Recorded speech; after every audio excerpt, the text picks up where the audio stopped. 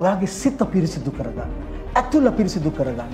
අවංකව දෙවියන් වහන්සේ ඉස්සර හිට ගන්න ලෑස්ති වෙන්න.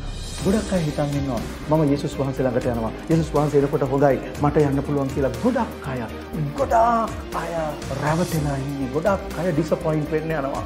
ඔයා දන්නවද ගොඩක් අය විලාප දෙන්න යනවා රැප්චර් එක දවසේ.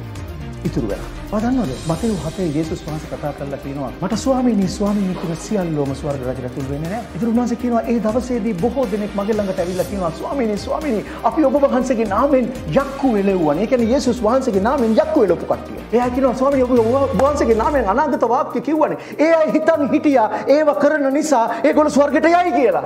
ඒගොල්ලෝ හිතන් හිටියා ඒගොල්ලෝ ඉන්නේ හරි තැන කියලා. ඒගොල්ලෝ කියනවා ස්වාමීනි මං කරානේ මේ දේ මං වාගේ ඉස්සර මේ දේ කරානේ මේවා කරානේ මේවා කරානේ. උන්වහන්සේ කියන්නේ මොකද්ද? අධර්මිෂ්ඨකම් කරන්නේ. මගෙන් අහක්කො ඵලයක් මම කිසිදා නුඹව හඳුනගෙන හිටියේ නෑ. ගිනිවිලේ යේසුස් වහන්සේගේ නාමයෙන් යක්කු එළවපු අය ගිනිවිලට යනවා. ඔයා මුළු ක්‍රිස්තියාන්ඩම් එකේ නැත්නම් ක්‍රිස්තියානි සමාජයේ තියෙන හැමදේම කළත් ඔයා උදේ යාඥා කරයි රෑ යාඥා කරයි निराහාරව යාඥා කරයි ඔයා බයිබලේ කියවයි බයිබලේ උගන්වයි බයිබලේ මදන්න මොනව කරයි?